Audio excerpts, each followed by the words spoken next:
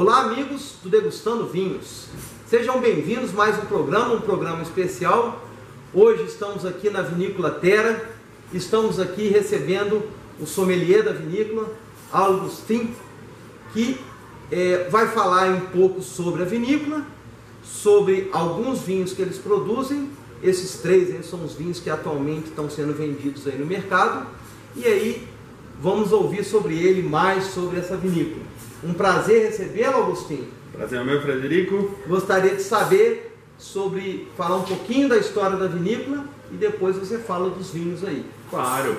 A Vinícola Teira tem uma história de 5 anos de antiguidade, né? Começamos em 2015, o projeto, na verdade em 2013, o proprietário começou, adquiriu a, a fazenda, né? E começou este projeto.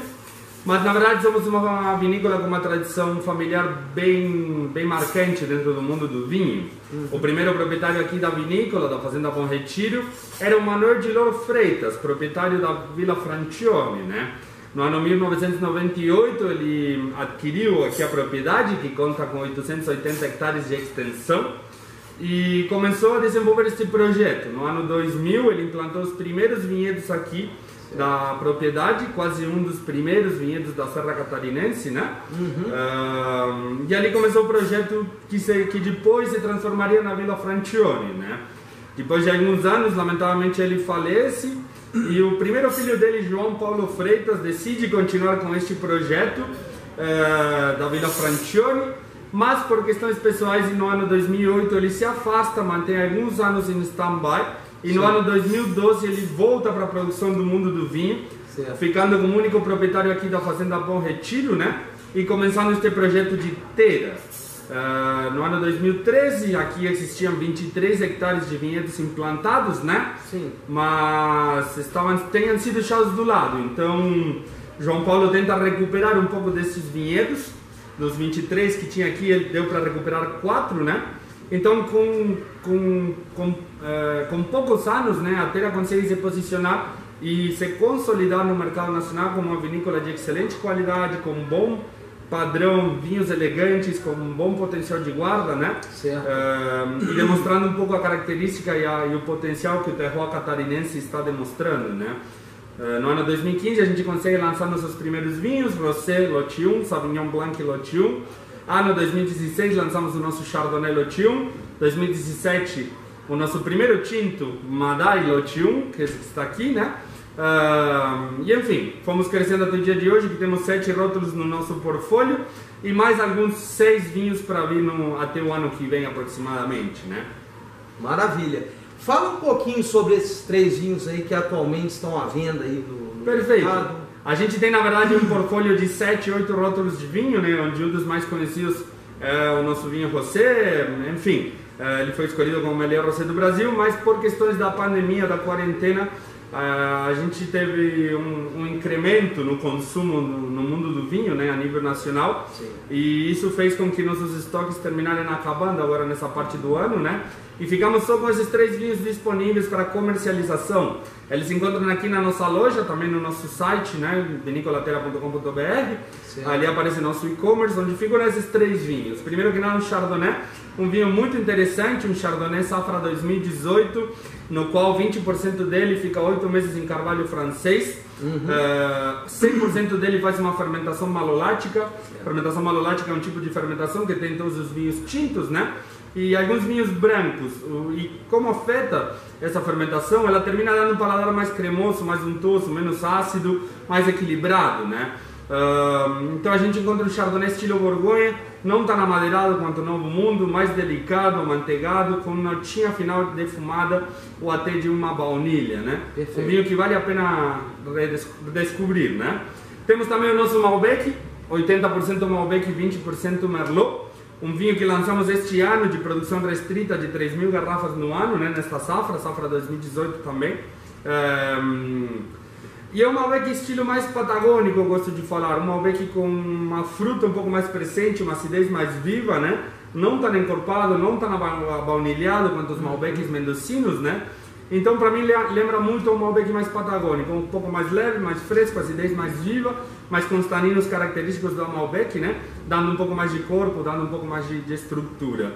E o terceiro vinho que a gente tem foi o primeiro vinho tinto da casa, né? Que se chama Madai, é uma palavra italiana que significa como vamos lá em italiano, né?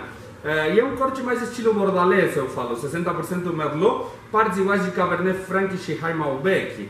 Safra 2018, 12 meses de carvalho francês de primeiro uso também, 13% alcoólico, realmente um vinho bem interessante, equilibrado, uh, já está bem interessante para acompanhar. Hoje em dia uma carne um pouco mais gordurosa, mais encorpada, né?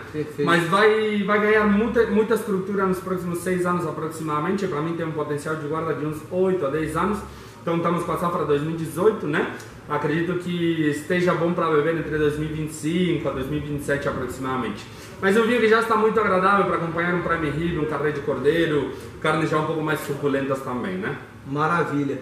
Eu agradeço muito você esclarecer sobre os vinhos, sobre a vinícola e já volto fazendo a degustação de um rótulo deles. Muito obrigado e até já.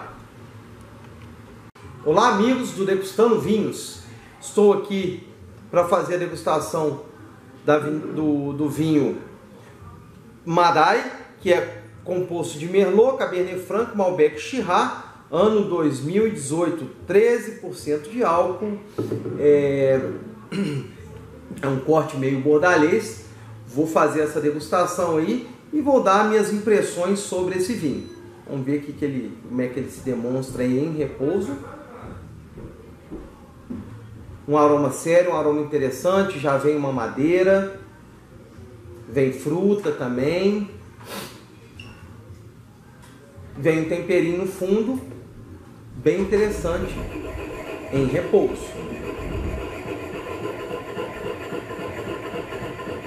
Vamos ver aí. Veio um belo perfume agora, um pouquinho tímido ainda, ele ainda está contido, está meio novo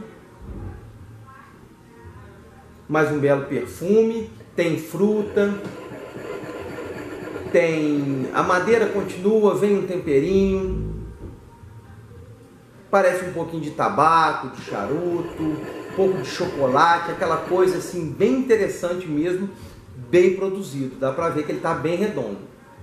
Vamos colocar na boca para ver como é que ele se porta.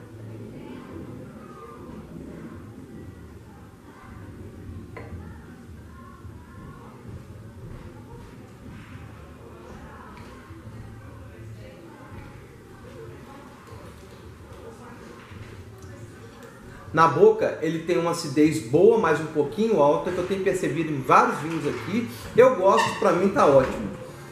Ele tem uma presença legal na boca, uma presença de média para alta, e ele tem uma persistência média para alta. Vou dar mais uma degustada. Um pouquinho de álcool, tá? Um belo perfume.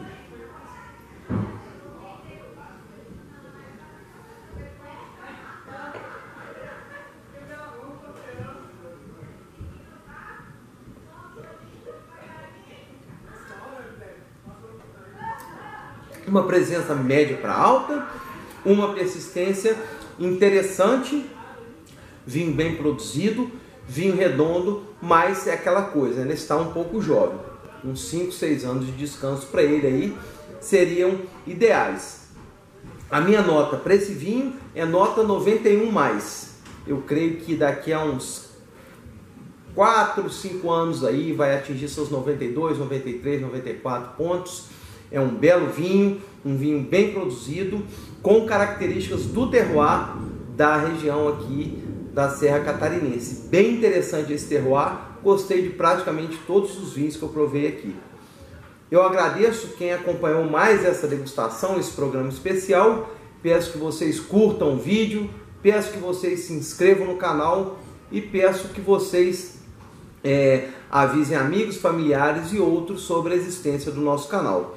Um abraço a todos e cheers!